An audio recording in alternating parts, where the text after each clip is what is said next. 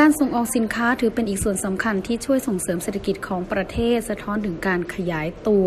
ซึ่งหน่วยงานภาครัฐได้มีแผนช่วยสนับสนุนและส่งเสริมทุกด้าน เพื่อให้ขยายตัวได้ท่ามกลางปัจจัยที่มากระทบทั้งภายในและภายนอกประเทศ ในวันนี้กระทรวงพาณิชย์ได้เปิดเผยถึงตัวเลขการส่งออกของไทยในเดือนพฤศจิกายน หลังจากที่มีการเปิดเผยตัวเลขส่งออกของเดือนตุลาคมแล้ว ที่มีการขยายตัวขึ้นร้อยละ 8.7 คิดเป็นมูลค่า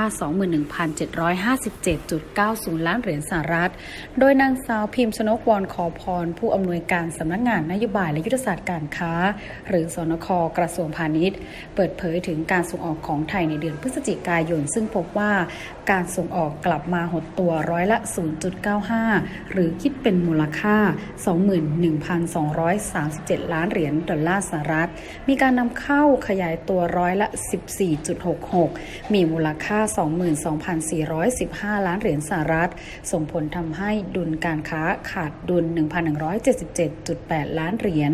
เนื่องจากฐานการส่งออกสูงของสินค้ารถยนต์อุปกรณ์และส่วนประกอบทำให้ติดลบร้อยละ 8 ภาพรวมการส่งออกสินค้าอุตสาหกรรมกลับมาติดลบร้อยละ 0.4 รวมทั้งสินค้าในส่วนของข้าวเดือนพฤศจิกายน 2560 นั้นส่งออกสูงสุดเป็นประวัติการทำให้พฤศจิกายนปีนี้ติดลบร้อยละ 4.3 ภาพรวมการส่งออกสินค้าเกษตรและอุตสาหกรรมนั้นขยายตัวร้อยละ 8.4 จึงถือว่าเป็นเพียงปัจจัยระยะสั้น แต่ยังมีผลกระทบทางอ้อมเรื่องขยายวงกว้างขึ้นจากความขัดแย้งทางการค้าระหว่างสหรัฐและจีน ที่ไทยอยู่ในห่วงโซ่การผลิตวัตถุดิบที่จะต้องติดตามใกล้ชิด ขณะที่การส่งออกในช่วง 11 เดือนแรกของปีนี้ขยายตัวร้อยละ 7.29 คิดเป็นมูลค่า 232,725 ล้านเหรียญสหรัฐ การนำเข้าขยายตัวร้อยละ 14.77 คิดเป็นมูลค่า